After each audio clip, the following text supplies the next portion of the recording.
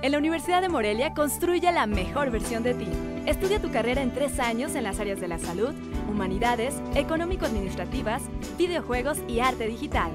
udemorelia.edu.mx, teléfono 317-7771. La leucemia es la principal forma de cáncer que ataca a los niños en Michoacán, especialmente entre los 2 y 5 años de edad, documentó Misael Rejón Carmona, un cohematopediatra del Hospital Infantil de Morelia. La causa número uno es la leucemia linfoblástica aguda.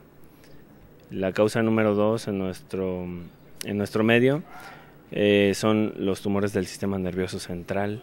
La esperanza de vida de los niños con cáncer depende del tipo de neoplastía que padecen. En México promedia el 65% según datos de la Unidad de Transplantes de Médula Ósea y Cédulas Progenitoras del Instituto Nacional de Pediatría.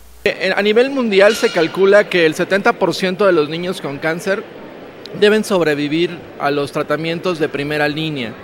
Las cifras han crecido notablemente en las últimas décadas, precisó Morris Kletzen, jefe de Oncología Pediátrica del Hospital Infantil de Chicago, en el Congreso Internacional del Ramo en Morelia. En el año 80 se curaban más o menos el 30% de los niños, ahora podemos decir que se está curando más del 80% de ellos.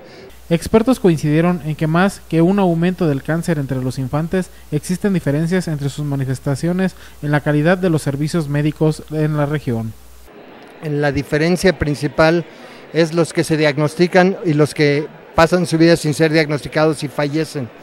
Realmente la distribución es homogénea, o sea, no hay un estado que tenga más cáncer que otro, sino... De acuerdo con el especialista, la detención oportuna y la intervención médica son elementos determinantes para la sobrevivencia de los niños, los padres son el primer filtro. Eh, muchas de las historias que vivimos en el Hospital Infantil de Morelia tienen que ver con, que el diagnóstico del cáncer o de un problema grave que pudiera ser cáncer lo hacen los padres.